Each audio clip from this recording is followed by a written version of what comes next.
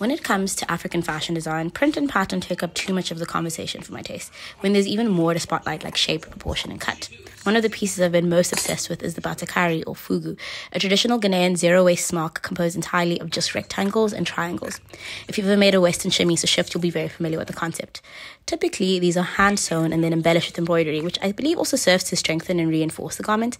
I did not have any time for that, so I machine stitched everything and then top stitched each of my panels, which, while it felt like it took an ungodly amount of time because it was so repetitive, was about one night of work.